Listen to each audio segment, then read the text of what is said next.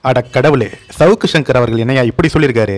கூடிய விரைவில் திமுக ஆட்சி போயிடு போயிடும் சீக்கிரமாக போயிடும் அப்படின்னு ஒரு கமெண்ட் போட்டு திமுக ஆட்சி முடிவுக்கு வரதை சவுக்கு சங்கர் அவர்கள் மறைமுகமாக ஒரு போஸ்ட் போட்டு சொல்லியிருக்காரு. என்ன போஸ்ட்டு அப்படின்னு பார்க்குறீங்களா? நம்ம உதயநிதி ஸ்டாலின் தற்போது ஒரு கமெண்ட் அடிச்சிருக்காரு. ஆட்சியே போனாலும் கவலை இல்லை. திமுக என்ற கட்சியே சனாதனத்தை ஒழிக்க தான் ஆரம்பிக்கப்பட்டது. சனாதனத்தை ஒழிப்பதற்காக ஆட்சியே போனாலும் கவலை இல்லை அப்படின்னு அமைச்சர் உதயநிதி ஸ்டாலின் தற்போது ஒரு பேட்டி கொடுத்துருக்காரு.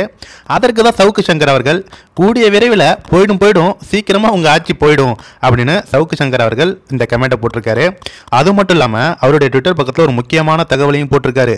சனாதன பேச்சுக்கு முதல்வர் ஸ்டாலின் அவர்கள் தடை விதிச்சிருக்காரு அப்படின்னு போட்டிருக்காரு. சனாதன சர்ச்சை இந்தியா கூட்டணியை பாதிப்பதன் எதிரொலி சனாதனம் குறித்து திமுகவினர் யாரும் பேசக்கூடாது என முதல்வர் ஸ்டாலின் அவர்கள் உத்தரவிட்டுள்ளதாக ஒரு தகவல் வந்திருக்கு. அப்படின்னு சவுக்கு சங்கர் அவர்கள் தற்போது ஒரு முக்கியமான தகவலை சொல்லியிருக்காரு. ஆனால் இந்த தகவல் வந்து காலையில் வெளியிடப்பட்டது. ஆனால் உதயநிதி ஸ்டாலின் அவர்கள் ஆட்சியே போனாலும் பரவாயில்ல. எங்கள் கட்சி ஆரம்பிக்கப்பட்டதே சனாதானத்தை ஒழிப்பதற்காக தான் அப்படின்னு தற்போது ஒரு பேட்டி கொடுத்துருக்காரு. அப்போ நம்ம முதல்வரை சொன்ன அந்த உத்தரவுக்கு என்னதான் மரியாதைன்னு தெரியல. நம்ம ஸ்ட உதயநிதி ஸ்டாலின் அவர்கள் வந்து வெறித்தனமாக வந்து சனாதனத்தை ஒழித்தே தீர்வுன்னு ஒத்த காலில் நிற்கிறாரு அதற்கு கூடிய விரைவில் உங்களுடைய ஆட்சி முடிவுக்கு வரும் அப்படின்னு சவுக்கு சங்கரும் சொல்லியிருக்காரு. பொறுத்திருந்து பார்ப்போம்.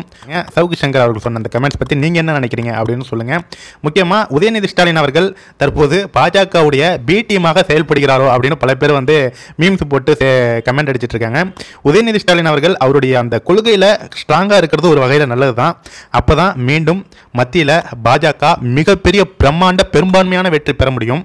அதற்கு உதயநிதி ஸ்டாலினுக்கு நம்ம எல்லாரும் சேர்ந்து நன்றி தான் சொல்லணும்.